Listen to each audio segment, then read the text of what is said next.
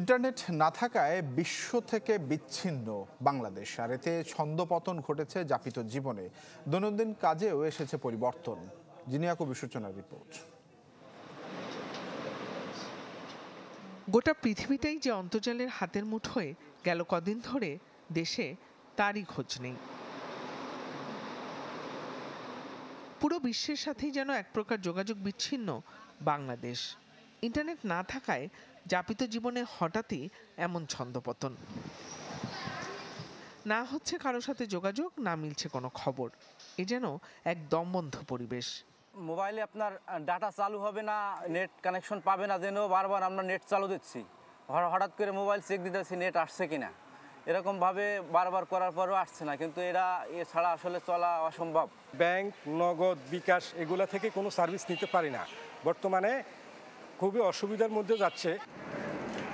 উদ্ভূত এমন পরিস্থিতিতে উৎকণ্ঠার পারদ চলেছে আরও। যে কোনো খবরের জন্য নির্ভরতা এখন বোকাবাক্সি বন্দি। ইন্টারনেট নেই মনে হচ্ছে এই যুগে বসবাস করে। পুরো- পুরো পৃথিবী থেকে বিচ্ছিন্ন মনে হচ্ছে কিছু নেই। জীবনটা একেবারে স্থবির। আতঙ্কটা বেশি একটা নাই কারণ দেশের পরিস্থিতিটা তো আমরা জানতে পারতেছি না। দেশে কি ভালো হইতেছে না খারাপ হইতেছে সেটাও আমাদের জানার জানা কোনো ওয়েই নাই। শিশুদের জীবনটাও হঠাৎই কেমন হয়ে গেছে? কেউ কেউ হাঁসফাঁস করছে মুঠোফোনের জন্য। কেউ খেতেই যাচ্ছে না কিছু। কালার পেন্সিল দেয় বিভিন্ন রকমের জিনিস দেয়।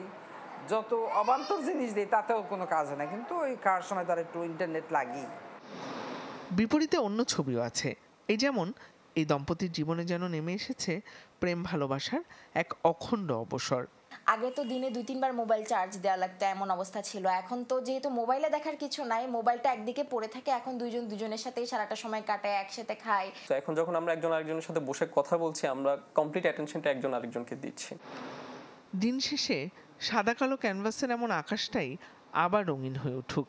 বিশ্বকে জানার যোগাযোগের স্বাধীনতার অবারিত প্রান্তরে। জিনিয়ার কবির সূচনা চ্যানেল টোয়েন্টি ঢাকা।